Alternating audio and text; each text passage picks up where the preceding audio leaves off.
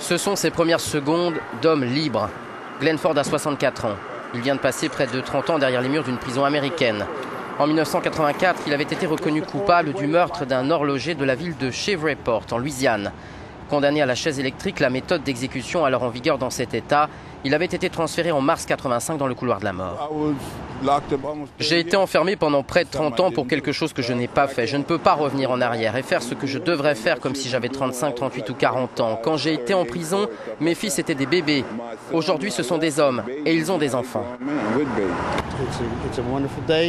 Son avocat parle d'une journée merveilleuse. Nous avons travaillé pour cela depuis des décennies. Nous espérons que ce sera le premier jour de Glenn pour commencer une nouvelle vie.